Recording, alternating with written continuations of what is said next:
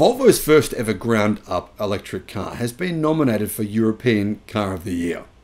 But is it really European? The Volvo EX30 is built on the SEA platform, which was designed by Geely in China.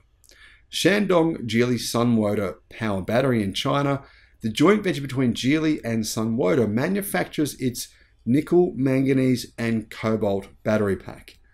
Viridi e-mobility technology supplies electric motors for the EX30 in China, and the manufacturing process of this model takes place at Geely's manufacturing EV plant in Haoqing, according to an MIT Chinese announcement.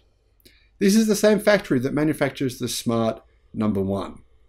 Volvo, owned by Geely, plans to produce the EX30 at a plant in Belgium in 2025. But at the moment, the EX30 is only made in China. And the Belgian version will, of course, be predominantly using parts made in China. A lot of people ask the question, they wonder is Volvo a Chinese car company now or is it still Swedish? It's very complicated, but I believe there is essentially an answer. And it depends what type of car you're actually talking about. Hello my friends, welcome to the channel, I'm Sam Evans, you're watching The Electric Viking. There are a lot of people who contend Volvo is a Swedish company, doesn't matter if its parent company is Geely, who are obviously a Chinese multinational, because ultimately Volvo's head of operations is still in Sweden. Well, that is technically true. However, a large percentage of Volvo's cars are not made in Sweden. In fact, most of them aren't. Recently, Volvo have revealed that their new electric car, the Volvo EX30, which has a lot of people who are already wanting to place orders, it's considered to be essentially uh, the EV of the future for Volvo. And realistically, I even know people that have placed orders here in Australia there's a lot of interest in the Volvo EX30. It's a very good car. It's competitively priced, depending on who you ask. Some people say it's a bit overpriced, other people say it's excellent.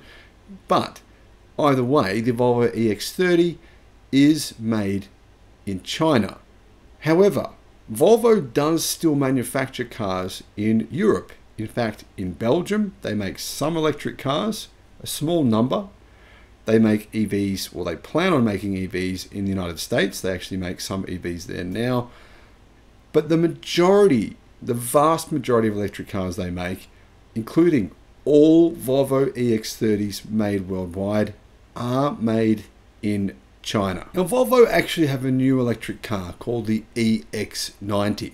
This is a planned electric version of the XC90, a full size seven seat electric SUV. Many people are saying, well, that will be made in Volvo's factory in China, in Chengdu.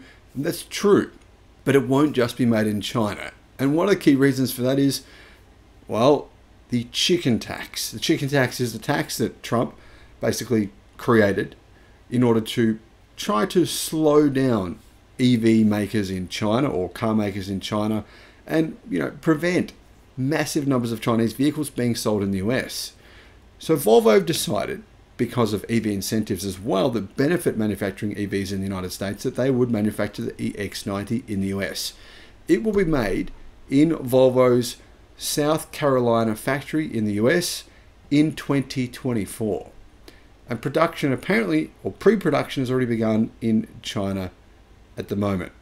So that means that Yes, Volvo are making EVs predominantly in China, but they are also manufacturing them in the United States, and to a lesser degree, a much lesser degree, in their factory in Belgium.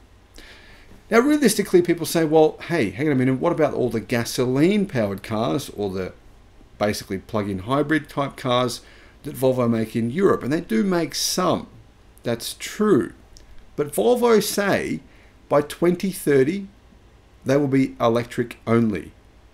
But that's not really the full picture because in Australia and Europe, they will be electric only in 2026, in only two years' time from now.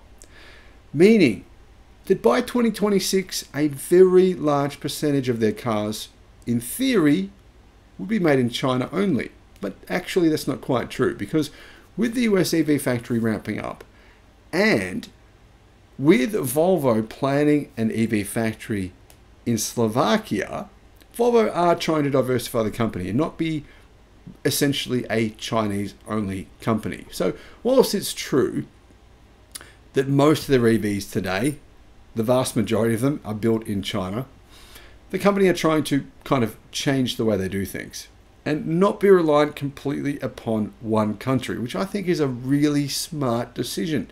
It's a decision that BYD clearly sees some value in. It's why BYD has uh, initiated similar things lately, trying to manufacture EVs or vehicles in other countries like Thailand, Brazil, and even in Europe as well. Now, Volvo doesn't just make electric cars in China, it does also make plug in hybrids like the C40 and, and a range of other cars that it makes at its factory in Chengdu. But what is clearly the most important car for Volvo and its first ground up built EV, the EX30, um, will predominantly be made in China. And that's where basically Volvo will have to manufacture the majority of, EV, of its EVs. Why? Because price. The other thing worth considering here is that um, the EVs that Volvo will manufacture in Europe, yes, they will be technically made in Europe, but the vast majority of the parts will come from their factory in China. Same thing goes for the US built EX90. Whilst the battery packs will have to be sourced in the US to take advantage of US battery incentives, the rest of the car predominantly will be manufactured in China and then shipped and assembled in the United States. That's pretty much Volvo's strategy. So, on the one hand, to some degree, it's true the parent company is Chinese, and much of the many of the vehicles and parts are sourced and made in China, but some of them are not. So, whether or not you want to call this a Chinese company or a Swedish one, well, it's up to you. That said, the cars are still technically designed in Sweden.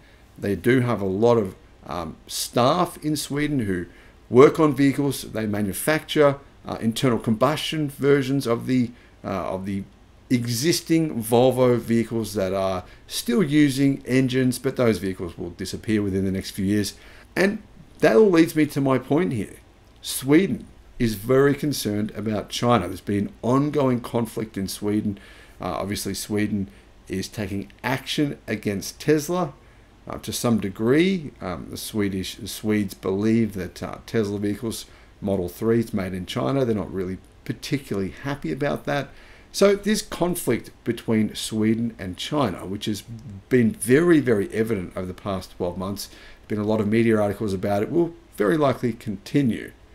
Probably, Geely will try to downsize some of Sweden's operations, some of Volvo's Swedish operations. Either way, Volvo makes some great cars. I personally, I'm not too concerned about whether or not you call them Chinese or, or Swedish.